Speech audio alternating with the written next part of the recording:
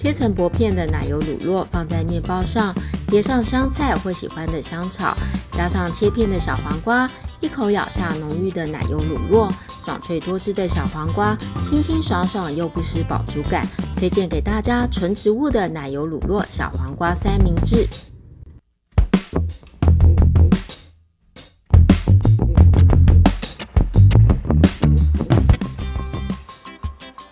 第一种做法的奶油乳酪，我们需要使用到食物调理机，将所有的材料丢进食物调理机中分段搅打成泥，之后呢放入模具中冷藏定型即可。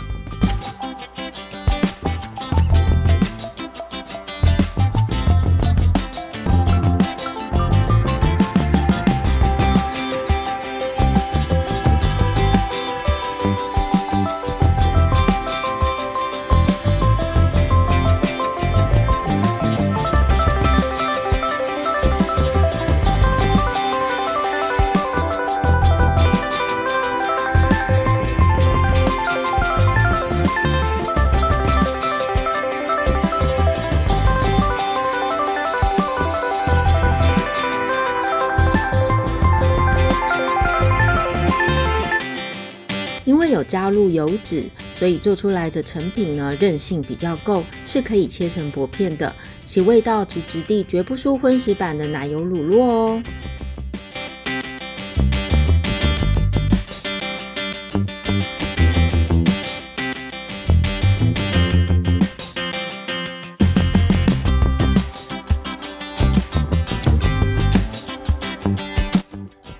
各种做法的奶油乳酪是用柠檬汁将杏仁奶及豆浆中的蛋白质凝固。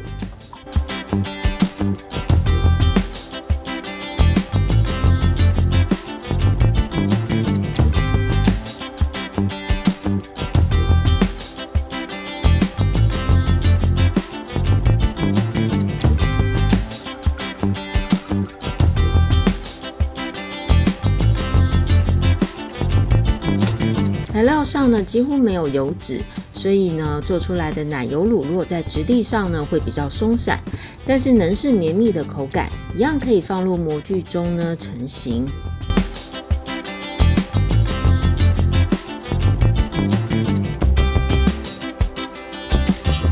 大家可以根据自己的需求来尝试两种不同的做法，都很美味哦。